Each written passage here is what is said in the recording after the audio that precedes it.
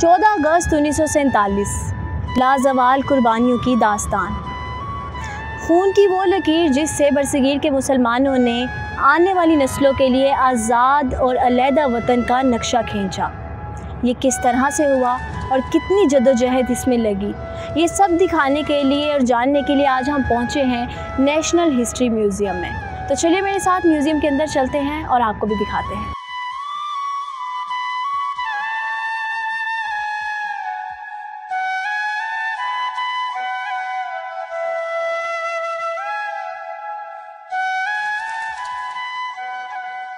National history museum में जब आप एंटर होते हैं तो एंटर होते ही ये एक गैलरी बनाई गई है, जहाँ पर बानी पाकिस्तान कायद अज़म मोहम्मद अली जिना सर सैद अहमद ख़ान और इलामा इकबाल जो हैं, उनके लिए एक सिटीज़न्स के लिए यहाँ पर एक आर्काइव बनाया गया है जहाँ पर ये एल लगाई गई हैं और इनके अंदर जो है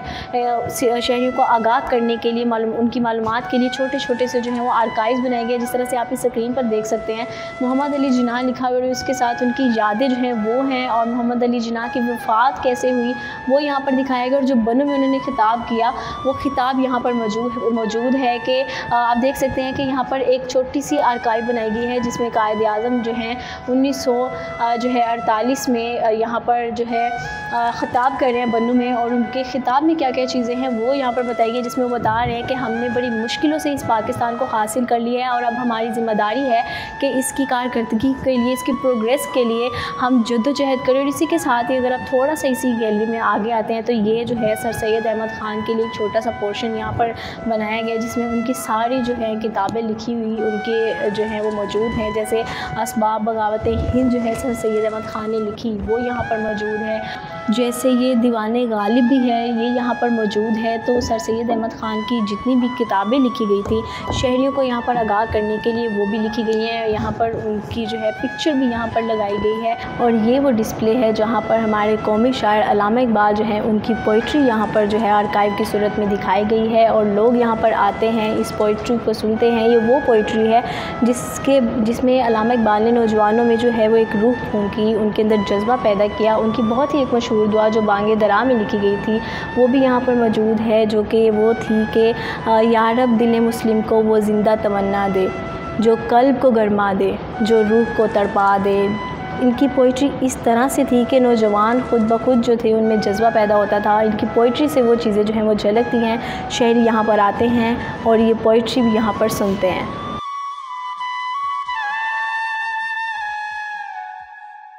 इस म्यूज़ियम की वो पाकिस्तान टाइमलाइन है, जहाँ पर 1940 से लेकर उन्नीस सौ अट्ठावन तक तमाम जो तारीख़ है, उसको बड़े अच्छे अंदाज में यहाँ पर दिखाया गया है। लोग यहाँ पर आते हैं, तारीख़ के हवाले से देखते हैं चीज़ों को मालूम हासिल करते हैं जिन लोगों को तारीख़ के बारे में नहीं पता। यहाँ पर एक एक चीज़ को जो है उन्नीस सौ अठावन उन्नीस सौ छप्पन, उन्नीस सौ चौवन, उन्नीस सौ तिरपन और उन्नीस सौ चालीस से लेकर सब चीज़ें जो हैं यहाँ पर बड़े अच्छे अंदाज में दिखाई गई हैं ताकि शहरी जो हैं इसको देख सके, इससे मालूम हासिल कर सके और अपनी तारीख़ को और इस जदोजहद को जो है, वो जान सके कि किस तरह से इस मुल्क को जो है, वो हासिल किया गया है।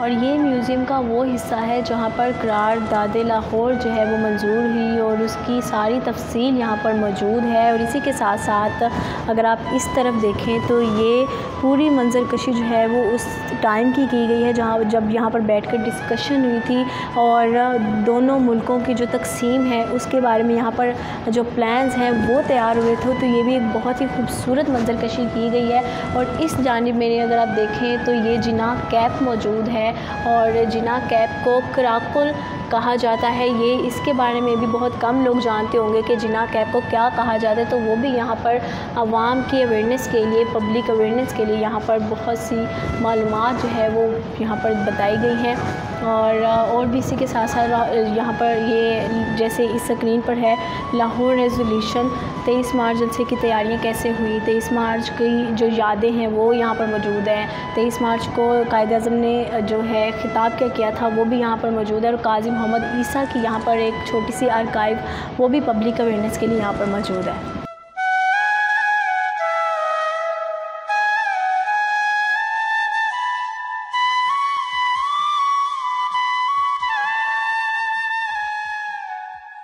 नेशनल हिस्ट्री म्यूज़ियम है, जहाँ पर इस मुल्क को हासिल करने की जदोजहद जो है, वो आवाम को दिखाई गई है। वहीं पर ये गांधी और जिना के दरमियान लिखे गए जो खतूत हैं, उनको भी यहाँ पर रोशनास कराया गया है। और ये सारे खतूत यहाँ पर मौजूद हैं, जो आवाम यहाँ पर आती है, वो इन खतूत को पढ़ती है और रियलाइज़ होता है कि किस तरह से खतूत उस टाइम पर लिखे जाते थे। और इसी के साथ साथ अगर आप इस तरफ़ देखें तो गांधी और जिना के दरमियान जो मुजाकर हुए थे उसकी पूरी तफसील यहाँ पर बताई गई है और वो पूरे सारे जो मुजाकर थे वो यहाँ पर नक्श किए गए हैं, लिखे गए हैं और वो मुजाकर क्या थे, लोग यहाँ पर आते हैं, इनको पढ़ते हैं और इसके बारे में जानते हैं, आगाही हासिल करते हैं कि गांधी और जिना के दरमियान किस तरह के मुजाकर उस टाइम पर हुआ करते थे।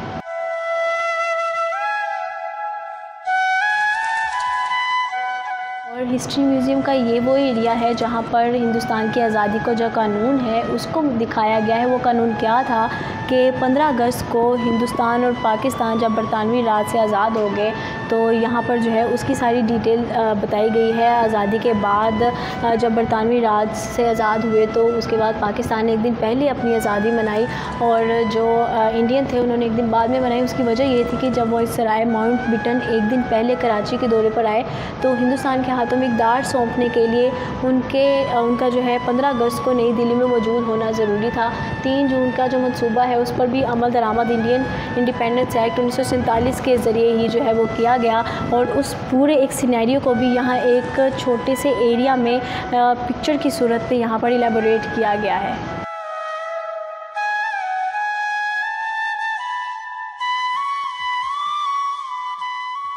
हुकूमत पाकिस्तान की जानब से मुख्तु दौर में जो करेंसीज़ मुतारफ़ कराई गई, उसकी भी यहाँ पर जो पिक्चर्स की सूरत में यहाँ पर उसको दिखाया गया है। जिस तरह से आप देख सकते हैं कि ये चार आने हैं और ये भी चार आने हैं और इसके साथ साथ अगर आप उसकी डिटेल देखें, उसका वज़न, उसका मवाद क्या था, गर्दिश साल उसका कितना रहा, शक्ल उसकी क्या थी, तफसील उसकी क्या है, वो सारा कुछ भी दिखाया गया है और ये जो है एक आना है और आधा आना भी यहाँ पर मौजूद है। आधा आना जो आजकल की जनरेशन है। वो उन इन चीज़ों को देखकर सोचती है कि पता नहीं आधा आना किस तरह का होगा। तो ये यहाँ पर बड़े अच्छे तरीके से इसको रिप्रेजेंट किया गया। एक पैसा भी यहाँ पर मौजूद है और इसी के साथ साथ बहुत जो जितनी भी करेंसीज पाकिस्तान की बदली हैं, वो यहाँ पर मौजूद हैं। तब से लेकर आज तक हर तरह की करेंसी यहाँ पर मौजूद है और शहरीों की आसानी के लिए, उनकी मालूम के लिए इन करेंसीज़ की पूरी तफसीलात भी यहाँ पर दिखाई गई हैं।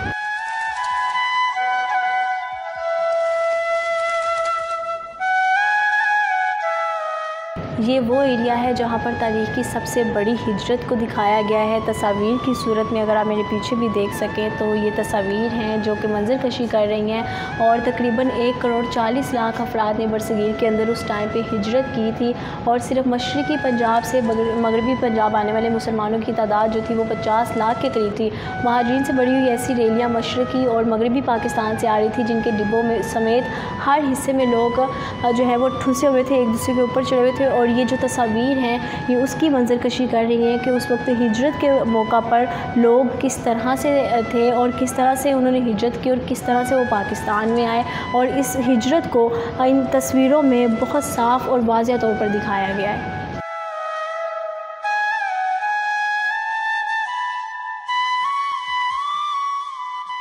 ये वो एरिया है जहाँ पर पाकिस्तान का पहला पासपोर्ट, जो कि पूरी आन बान शान से मौजूद है, उसको दिखाया गया है। आप इस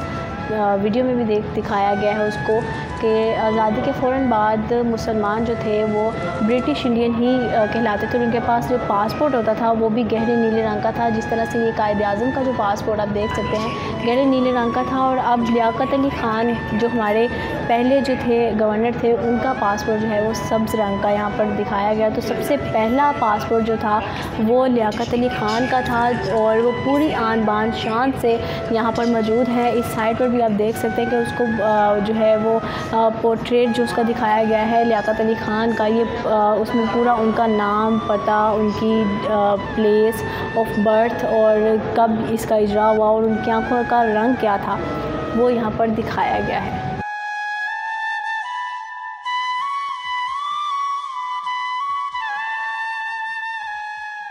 म्यूज़ियम में हिजरत की मंजर कशी तस्वीर में करने के साथ साथ हैमा बस्ती जो यहाँ पर लगाई गई है, इसको देख कर आज भी लोगों के जो एहसास हैं, माजी में सफ़र करने पर उन्हें मजबूर कर देते हैं।